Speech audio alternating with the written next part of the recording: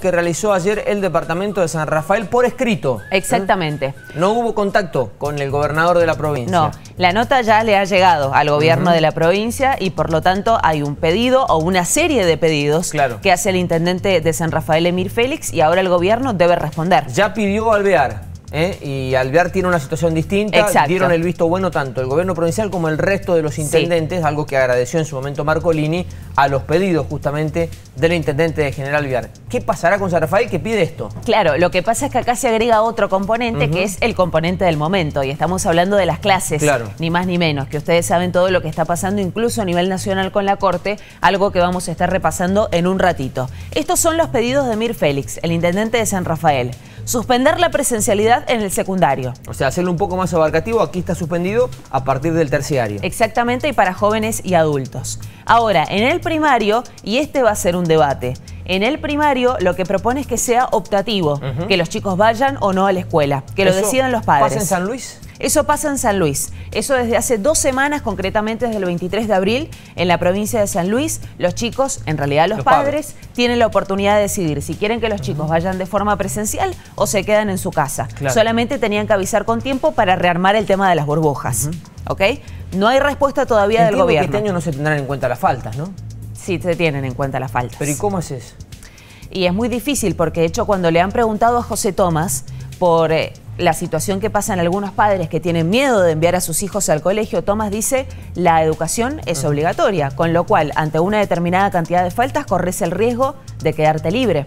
No tenés hoy la posibilidad de optar por quedarte mm, en tu casa. Suspender torneos y competencias de deportes de contacto para eliminar la posibilidad de que haya algunas personas que tengan problemas y que por lo tanto deban ir al hospital. Esto en Alvear ya está, ¿no? Exacto, sí. Eh, compras y reservas de acuerdo al DNI los días viernes y sábados, es decir, extenderlo a los viernes y sábados porque hoy tenemos de lunes a jueves y los domingos para supermercados y mayoristas, es la propuesta de Mir Félix, el intendente de San Rafael, y no aplicar el DNI en los comercios de cercanía. Estas son las propuestas y el pedido concreto que ha hecho el jefe comunal al gobernador de la provincia.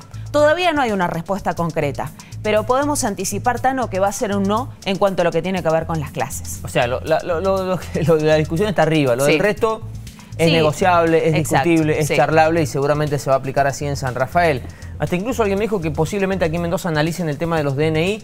eh, Todos los días. a- todos los días a raíz de los pedidos de los intendentes, ¿no? Sí. Que muchos se han manifestado a favor de extenderlo viernes, sábado y domingo también. Una de las primeras que se manifestó eh, en contra del hecho de solo imple- implementarlos de lunes a jueves fue Flor de Estefanis. Y la hemos escuchado últimamente hablando que eh, para ella no tiene ningún sentido aplicarlo solo a cuatro días de la semana, porque dice el mayor flujo de personas está del viernes al domingo.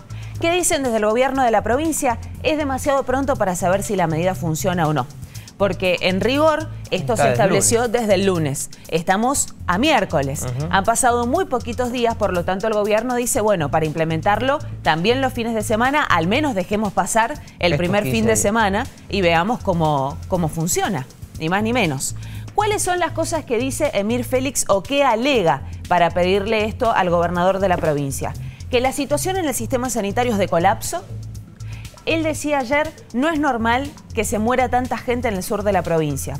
Incluso decía, ayer tuvimos 10 muertos, 5 en General Alvear, por antes de ayer en realidad, porque esto lo decía en declaraciones radiales el día de ayer. Para nosotros esta situación no es normal y además tenemos una situación de colapso sanitario en los hospitales, explica Félix. Y además habla de padres angustiados por mandar a los chicos a la escuela. Bueno, por eso habla de lo opcional. Ojo con esto, que también es un detalle. No está pidiendo, en este caso Félix, que suspendan las Sí. clases y manden toda la virtualidad, las clases presenciales. Insisto en esto porque clases hay igual.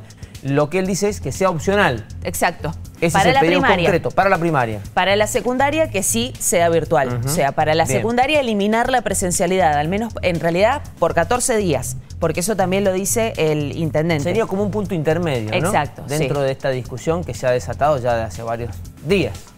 Veremos qué es lo que responden oficialmente. Vos decís que le van a decir que no. Le van a decir que no. En el tema de las clases le van a decir que no, te lo puedo asegurar, porque el tema de las clases es una bandera del gobierno de la provincia. Sobre todo La en este- presencialidad. la presencialidad. Sobre todo en este contexto en el que se acaba de conocer un fallo muy importante de la Corte Nacional. Sí. Y en un ratito vamos a estar hablando, porque también ayer nos preguntábamos, bueno, ¿qué posibilidad tiene San Rafael de ir por sí solo y tomar estas decisiones por su propia cuenta? No puede. No puede.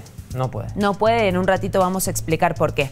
Si pasamos a la última información, preguntamos ayer cuál es la situación de los departamentos. Dice Abel Freidenberg, que es el que eh, coordina el tema de la salud en todo el sur de la provincia, que la situación es crítica en los tres departamentos, que están agregando camas críticas en los hospitales de referencia. Sí nos consta que el fin de semana llegaron cuatro respiradores a General Alvear que fueron festejados por el intendente, porque recordemos que además en General Alvear ya sabemos que está la cepa Manaos.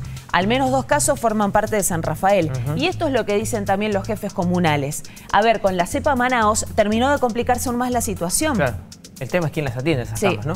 Y estos son números el personal de... salud está estresadísimo y sabemos que no hay. Tal cual. Más personal, ¿no? Así es. Eso es lo que dicen también eh, desde el sector de la salud. Es muy difícil ampliar el sistema operativo, digamos, sin personal. Bien. Estos son números de antes de ayer. Los de ayer todavía no los hemos depurado. En general, Alvear, fíjate, 44 casos positivos. En San Rafael, 190. En Malargüe, 11 casos positivos. Son muchos.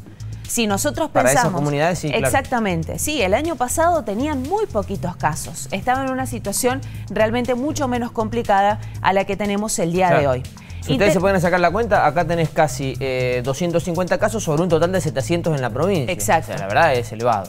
Interesante lo que está pasando en el departamento de General Alvear porque se está por aprobar un proyecto de resolución, que en este caso es de la oposición, es decir, del justicialismo, que le pide al gobernador de la provincia que se vaya a la virtualidad en ese departamento en cuanto a las clases. Bueno, pero qué dice ahí el radicalismo? el radicalismo apoya. Ah, apoya el, el, radicalismo de Alvear, apoya esa decisión. Sí, ayer escuchábamos a una concejal que hablaba en Radio New Willy y que decía, nosotros efectivamente entendemos que en esta situación es necesario volver a la virtualidad. Obviamente que estamos a favor de la presencialidad, pero la situación por la que estamos atravesando es muy compleja. Así que interesante también lo que está pasando en ese departamento. Déjame, perdón, Tanito, déjame agregarte un dato más, porque ayer hubo una respuesta velada, digamos, del gobierno de la provincia para San Rafael o para el sur, porque hablan de los números de letalidad. ¿Y qué dicen en este sentido? Que los números de letalidad en el sur es, mucho es, menor a la media provincial y a la media nacional. O sea, en la media nacional tenemos un 2,2.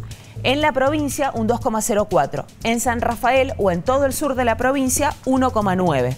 Eso es lo que responden desde el gobierno de la provincia con los números de letalidad. ¿Qué es la letalidad? Sí.